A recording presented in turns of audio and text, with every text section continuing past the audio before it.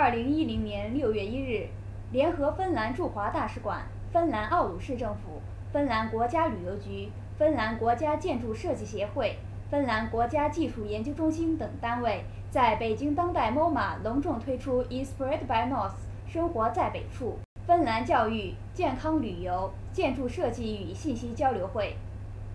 And Finland is in northern Europe, and our city is in northern Finland.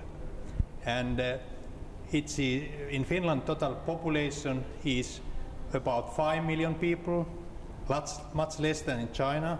And in Oulu region we have 220,000 inhabitants. And Oulu is located quite near the Arctic Circle. The distance to Arctic Circle is only 230 kilometers. It means about two and a half hours drive by car.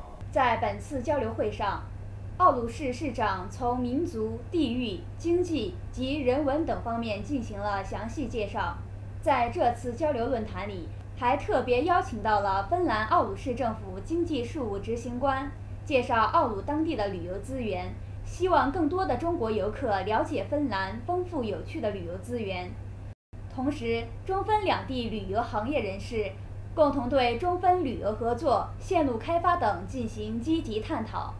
And one part is, is that uh, we also uh, make uh, and we market Oulu as a, as a good place to work, so that we're also looking for foreign investments and the foreign companies to establish activities in, in Oulu, uh, because it is one of the best places in, in, uh, in Finland. Uh, and, and, and Europe to do the R&D work and the development tasks, in, and, and that's what I also like to make uh, uh make uh, public uh, this a good opportunity for, for many companies.